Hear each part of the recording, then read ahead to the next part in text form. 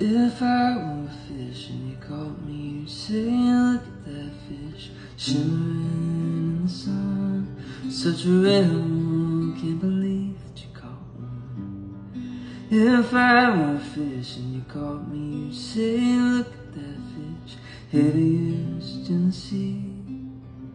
You win first prize if you caught me. Why's everybody on the internet so mean? Why's everybody so afraid of what they never?